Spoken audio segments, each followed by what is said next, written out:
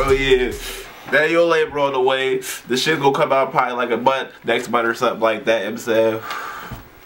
But uh, it's gonna be a couple little female songs on there, but everything's for my little dream chasing ass nigga just like me trying to make it somewhere type shit. I don't wanna do this shit, I gotta do this shit to make ends meet type shit. Manual labor on the way. Everything I did was with my hands. Get the money, write the music, all that shit was with my hands. Manual labor.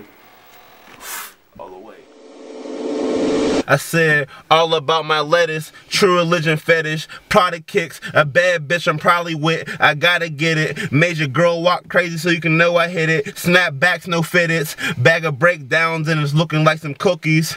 Counting money feeling way better than some pussy. Loud pack linger in my lungs, been trapping since I was sucking my thumb. It's like nah, but I was dumb young and never had shit. Holy clothes and shoes that ain't fit, but that's when I was down to the grit. Button ups with gators and pants with horseshoes. Nigga shits be false but mans be trues. Ducking indictments, trapping and writing, gunfire, ducking pose the fucking hoes be exciting. Bitches do whatever for the bread to be trifling. Topping nigga off, no icing. Stressing my sister's skin fucked up, so she laying oatmeal and soak. Couldn't afford to get a Dr. Pepper, so I'm leading the coke. Man, I be so fucking stressed, man, I be needing to smoke. So I take it out on my bitch so she bleed when I stroke. I get it soaked, beat it up until your labor on the way. I've been bullshitting for real. For I've been trying to get to the bread for real, but it's on the way. I'm telling you, it's on the way. I keep saying it and shit. The little post on my Facebook be saying it. I got a lot of shit going on in my life right now.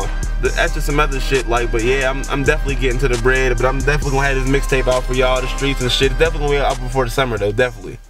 Definitely gonna be out before the summer.